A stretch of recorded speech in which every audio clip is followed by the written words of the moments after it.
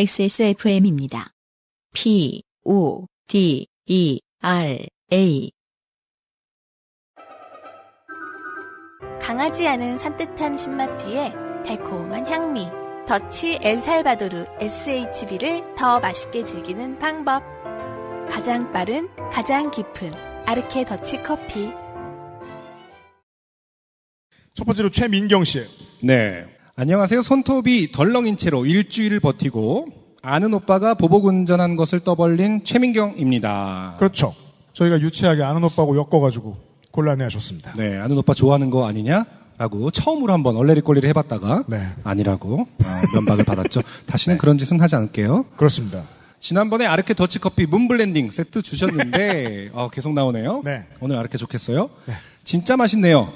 너무 딥하지 않아서 밤에 마시기에도 부담 없고요. 그 되게 센데, 그거. 그러게요. 물을 엄청 탔나 봐요. 요즘 집에서 하루 한 잔씩 까먹는 재미가 쏠쏠합니다. 이분도 그렇게 먹나 봐요. 우리만 물에 타 먹냐? 쪽쪽 빨아서 그러지 마십시오. 노잼이지만 세 번째 사연 도전합니다. 네. 내가 왜 이 일을 잊고 지냈을까 싶었는데 아주 기억에서 지우고 싶은 일이었나 봅니다. 때는 중학교 졸업 시즌이었습니다. 당시는 기독교 집안의 신앙 의무를 지며 매주 교회에 나가던 때였습니다. 자연스레 중고등부끼리 자주 어울려 지내는 일이 많았고 서로의 졸업식에 돌아가며 찾아가 축하 겸 졸업방을 해주었죠. 보통 이제 그 졸업식 날 왔는데 다른 학교 교복을 입은 친구들이 와서 되게 친한 척을 우르르 해주면 네. 보통은 교회 친구였어요. 맞아요. 그게 기억나요. 예. 음, 괄호 열고 당시의 유행템은 밀가루, 계란, 까나리 액젓이었습니다. 어, 약간 아무 음식도 만들 수 없는 레시피죠, 이거. 아니죠. 어, 동남아 스타일, 태국 스타일. 원래 그 fish sauce 요리를 좋아하시는 분들은 알겠지만 까나리 액젓도 그 야채 볶을 때 쓰면은 아, 고- 예, 예, 곧바로 예, 예, 태국 예. 스타일의 음식 풍미가 나거든요. 네. 어, 그래서 어, 당시의 유행은 어, 태국식 졸업. 어, 친구를 태국식 음식으로 만드는 게 유행을 했었나 봐요. 밀가루, 계란, 까나리 액젓. 일진 친구들은 학교 근처 굴다리 밑에서 후배 졸업생을 선배 일진이 때리고 음, 밀가루빵 하고 했다는 무서운 소문도 있었죠. 일진 친구들이 태국식 음식을 좋아했다. 네. 대체 왜 맞으려고 끌려다녔을까요? 지금은 이런 풍습이 금지된 걸로 알고 있어요. 그쵸. 사실은 이게 한 2000년대 초반 아닙니까? 그 막 2000년대 싸이월드 한참 유행할 때 네. 그런 사진들 막 올려서 캡처해서 맞아요. 막 되게 문제다 했었던 것 같은데 네. 어마어마했죠. 네. 요즘은 안 그러나요? 잘 모르겠네요. 요즘은 보도 안 해주는 거 보니까 요즘은 또 기자들이 그런 거 있으면 얼마나 좋아하겠어요. 아, 무릎을 탁 치면서 안 해주는 거 보니까 어, 되게 잘 치네요 무릎을 근데. 닫기가 쉬워서요. 네. 어 근데 사실은 저 여기도 이제 그 졸업식을 거친 세대들이 많이 계실 것 같긴 해요. 그러게 말이에요. 왜 그랬을까요? 90년대엔 없었어요. 그러니까 2000년대의 문화인 것 같아요. 예. 음. 직접 물어볼 그게 있나요? 밀가루만 썼나요? 뭘 썼나요, 주로? 설탕, 간장. 예? 분필가루, 계란. 지금까지 분필가루만 빼면은 거의 모든 볶음 음식에 국물 내는 게 마늘만 들어가면 그 다음에 또 뭐 있어요? 네? 케찹. 케찹. 소, 소화제? 아, 소화기! 소화기. 어 소화제 너무 친절한데요. 너희 씨. 소화 잘 되라. 또 뭐 있었어요? 겨자? 네? 간장? 네. 또, 마요네즈? 이 재료만 들으면 되게 군침이 돌아요. 근데 이제 큰 재료 중에 하나가 사람이라는 점. 그렇죠. 아무튼 다양했네요. 근데 지금까지 들은 걸 봐도 최민경 씨가 적어준 까나리 액젓은 원탑입니다. 네. 좀 남는 걸로 치면요. 예. 자, 아무튼 그때 저는 그 무리 중 한 오빠를 남몰래 좋아하고 있었습니다. 왜 오빠는 남몰래 좋아할까요? 소문도 좀 내고 하지. 푼수 같고 꾸밀 줄 모르던 시절이라 연애는 저와 상관없는 일이라 여겨 고백조차 안 했고요. 그 오빠도 와서 같이 축하해 줄 거라는 생각에 설레는 마음으로 졸업식을 맞이했습니다. 저와 같은 학교를 다니던 친구 두 명과 총 셋이 졸업을 했고 교회 무리는 꽃다발과 케이크를 사와서 함께 축하도 해주고 사진도 찍었습니다. 그와 동시에 시작된 밀가루 세례.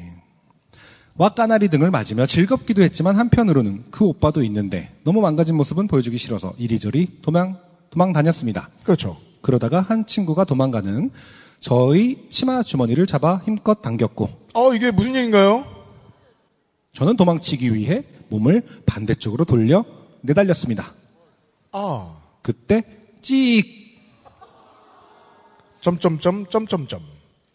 그러니까 저희가 이제 유튜브 한다라는 게 그 이런 운동장을 찾아가서 너 이거 좀진 사람은 너, 너? 도망 가봐.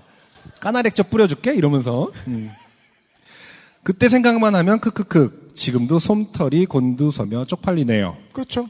아무튼 친구가 제 치마 주머니를 잡은 채로 당기는 동시에 제가 반대로 달려나가자 양쪽으로 강한 운동 에너지가 가해진 제 교복 치마는 3년간의 재고시를 모두 끝내고 허리 단만을 제게 남겨둔 채 찢겨 나갔습니다. 아, 챔피언 벨트가 됐죠. 벨트 한번 들, 들어주시겠어요? 벨트 한번 네. 아, 지금, 예, 이 객석에는, 어, 2016년판 WWE 챔피언 벨트가 있어요. 네. 어, 교복에 저런 게 달려있었으면 좀 덜했을 텐데. 어, 그럼 사람들이 벨트만 볼 테니까 어. 괜찮았을 거예요. 챔피언인가 봐? 뭐 이럴 수도 있죠. 그렇죠. 근데 안타깝게도 어, 이분은 그런 것 없이 그냥 허리땀만을 남겨둔 채 네. 찢겨 나갔습니다. 그리곤 정적. 허리에 벨트처럼 허리땀만 남은 채 검은 쫄바지를 입은 저는 망연자실했고 모두가 경악했습니다. 친구는 미안하다며 급하게 치마를 돌려줬고